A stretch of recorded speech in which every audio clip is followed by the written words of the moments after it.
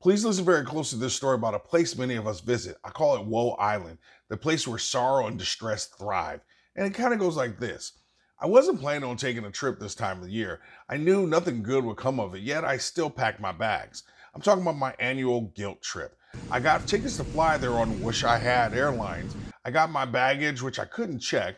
As I carried it, I couldn't help but notice how the thousand memories of what might have been made it incredibly heavy. No one greeted me when I landed at the Regret City International Airport. As I checked into the last resort hotel, I noticed that they were preparing for the annual pity party.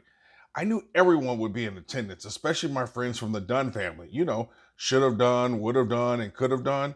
Mr. Missed Opportunity will be there with his wife, Mrs. Lost Opportunity. The Yesterdays will be there along with the Shattered Dreams family and the Regrets family. I'm certain that Mr. It's Their Fault will be there sharing his adventures with his best friends. Don't blame me, and I couldn't help it.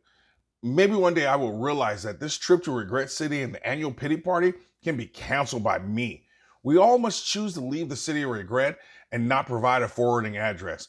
Cancel those reservations and instead opt to visit a new place like the city of new beginnings.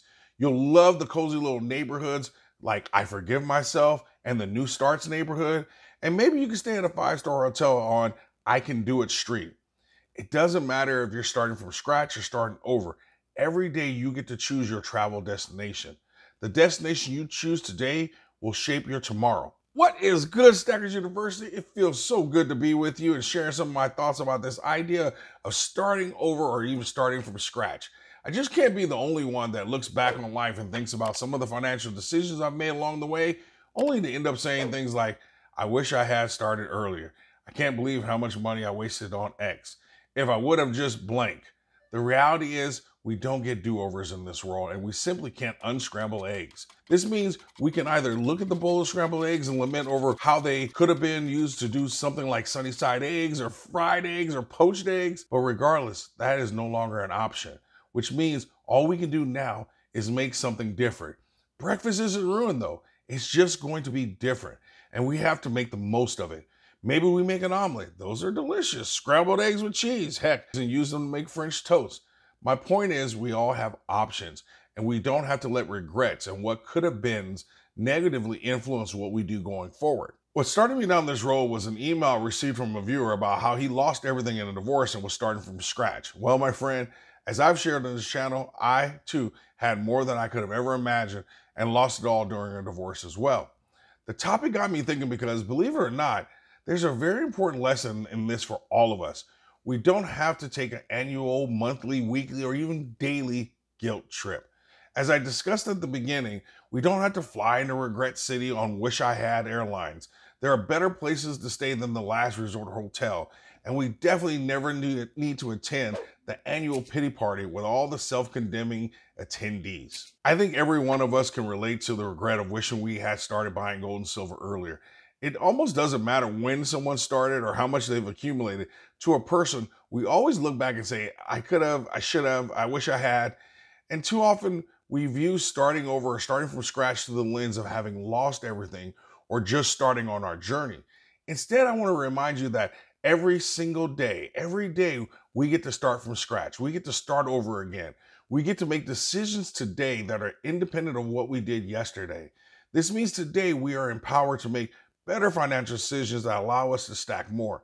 As someone who has bought and sold gold and silver over three decades, let me tell you, for the most part, as long as you are adding gold and silver to your stack, you're not making a mistake. I know there are lots of videos about the best gold or silver to stack right now. Heck, I've even done a few of those videos from time to time. In the big scheme of things, as long as you're adding ounces to your stack, you're making a good decision. In fact, there are only really four mistakes you need to avoid, and they actually aren't typically what comes to mind. Not like, you know, avoiding high premium items or collectibles or buying when the price is right or even worrying about buying too much. The first mistake is buying while carrying consumer debt. You simply can't preach that gold and silver about protecting your purchasing power or storing your wealth when you're making yourself poorer every day. Since 1972, you can count on gold and silver appreciating around 8% annually, while your debt is costing you 20%. If you feel that you need to stack while still carrying some consumer debt, you at least have to have a clear and aggressive plan to get yourself out of debt while still stacking. This means sacrifices must be made, and every dollar is to be used for necessities, paying off debt, or buying gold and silver. No dining out, no you need to start packing your lunch, and bye-bye streaming services. And you know what to do. The second mistake that we must avoid is kind of this broader category of what I call buying wrong, which is really about who you're buying from and is what you're buying really gold and silver. Lord knows I love a good deal, but more and more I hear stories about people losing countless dollars on fakes that they bought from random people on the internet in particular. As silver and gold becomes more valuable and popular, there will be a significant increase in counterfeiting. And as I see it, it only takes one fake gold coin or fake tube of eagles to ruin your stack and erase a significant amount of your gains. A while back, I watched two women have their hearts broken when they came into the coin shop only to realize they had a bunch of fakes. So buying who you buy from and making sure you're actually buying gold and silver, that's another mistake that you just have to avoid. The third mistake is having unrealistic expectations of gold and silver. Gold and silver are like the tortoise racing the hare. They're not going to go out and win any sprinting contests for you. They're not going to out sprint stocks or other investments, but they are slow and steady pace. That is what allows them to be the winner in the end. There will be highs and there are lows, but your patience is rewarded like slow cooking a brisket. Mm, yummy. Oh, anyway, I need to focus. The physical metals are your big picture, long term investments, and short term evaluations are just simply going to cause you to make impulsive and even bad decisions. So you just have to have realistic expectations for what gold and silver do. The fourth and final mistake is going all in on metals. I believe gold and silver are one of the best places to invest your money or to put your money. And at the same time, metals are just one vehicle, and you simply need more than one investment vehicle. Let me give you an analogy. During the summer in Aspen, Colorado, having a convertible sports car is probably a wonderful thing, but I bet you it sucks in the winter when there's snow everywhere.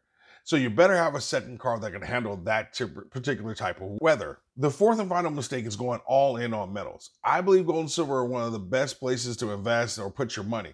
At the same time, metals are just one of the investment vehicles, one of the asset classes you have to have.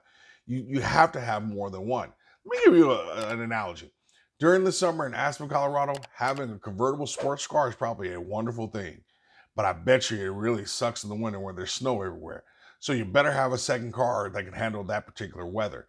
Your investments are like the same thing. You have to have more than one asset and they need to balance each other out. It doesn't matter if you have thousands of ounces or you're about to buy your first ounce. Every day we get to start from scratch and make the best decisions possible when it comes to building our tomorrow. This means we have to, one, begin with the end in mind and ask ourselves, why am I buying gold and silver? And then, two, what's my overall strategy and approach? What am I going to base my decisions off of? What am I looking to accomplish? And three, what's my specific strategy? Is it going to be all gold, a mix of gold and silver, a mix of gold silver and mining stocks? And how much dry powder I'm going to keep on the sideline for protection or for opportunities? Starting over or starting from scratch, regardless of the reason, doesn't sound like a lot of fun.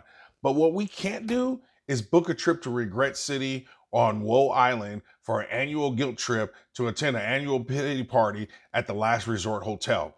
There is a better place to visit called the City of New Beginnings, and you can go there every day if you choose. As long as you make sure you avoid those four major mistakes that I just covered, you'll be amazed by what you can do when you have a plan and a strategy, regardless of where you are on your stacking journey. If you think what I shared is interesting, you should click on this next video where I walk you through how I would go about investing $10,000 in gold and silver. But before you do that, in the comments, what's your biggest regret or mistake when it comes to stacking? What advice would you give a new stacker or someone that was starting over? Or simply put an A plus in the comments to let everyone know that you always stack smarter and never stop learning.